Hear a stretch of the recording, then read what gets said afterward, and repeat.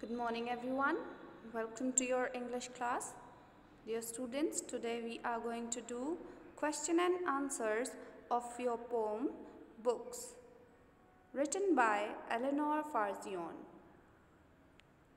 Question number one The room we sit in melts away. Why does the room melt away?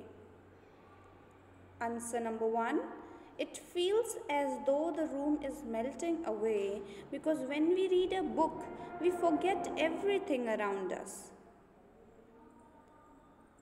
Question number two. And we find ourselves at play with someone who before the end may become our chosen friend. A. Question. Where does the chosen friend come from? Answer number 2a. The friend is a character from the book that seems to come alive. B. Question. How does this person or thing become a special friend? Answer B.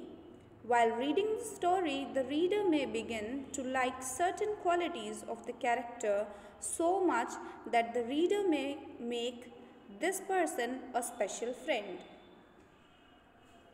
Question number 3. Always sail along the page to some other land or age. What is the feeling conveyed when the speaker uses the word sail? Answer number 3. The feeling we get when we read the word sail is a feeling of ease and smoothness. It is soft and gentle movement when we read a book, we get transported into the age and land of the story as easily as sailing on water. Question number 4.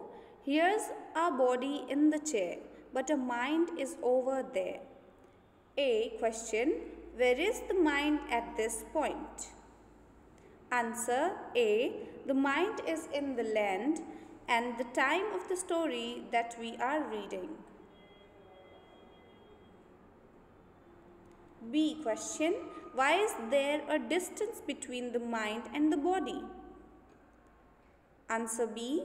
There is a distance between the mind and the body because the body is in the room but the mind is far away in another age and another land.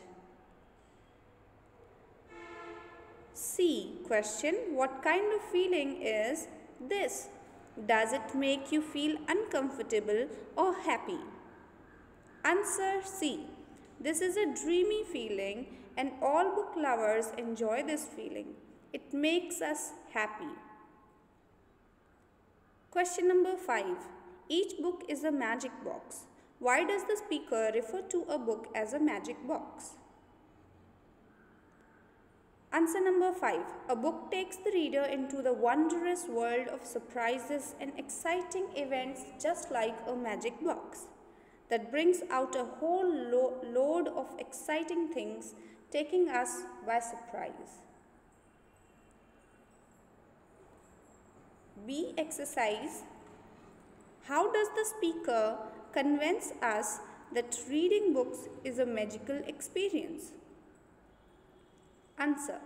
Reading a book is a magical experience according to, to the speaker because it introduces the speaker to new ideas and experiences. It sparks our imagination, it makes us to new land, sorry, it takes us to new lands and makes us meet new people while being seated in our own homes.